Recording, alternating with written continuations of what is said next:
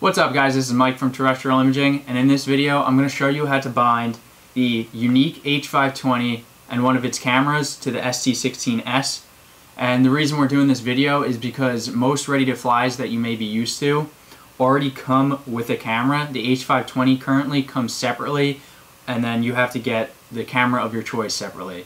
So they're not going to come pre-factory binded. So in this video, I'm going to use the E50, put it on the H520, and bind it to the ST16S.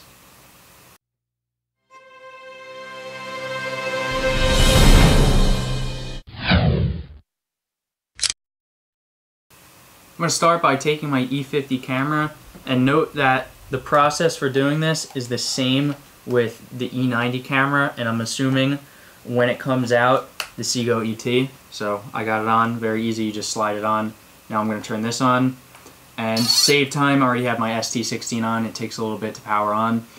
And then I have an HDMI cable going out and just ignore that. That's just so that we, we could record the screen. Now this is stabilized, so I'm going to show you how, show you how to bind it.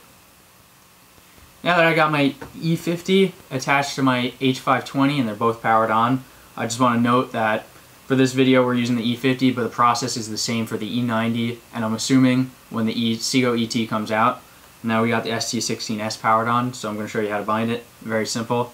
You go to the top right of your controller and hit the Wi-Fi button, and now, oh, there we go. Now it's going to search for the E50 camera. It's not going to search for the H520, so with the ST16 and how it communicates to the whole aircraft is directly through the camera. Everything's through the camera.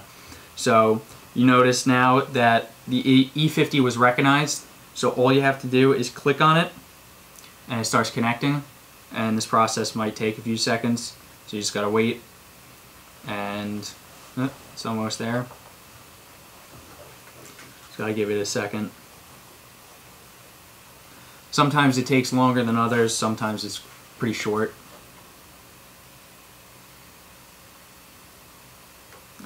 Alright, connection timed out. Try it again. I guess that'll happen sometimes.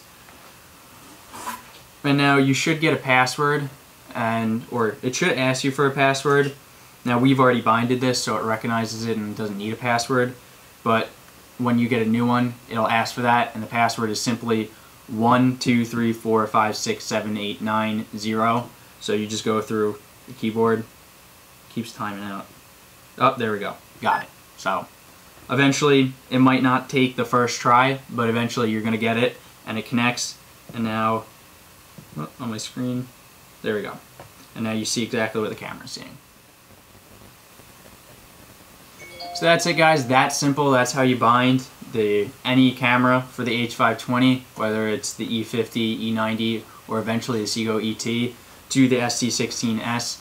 It's very different from the Typhoon H480 whereas you're only really connecting to the camera and you don't have to rock this thing back and forward.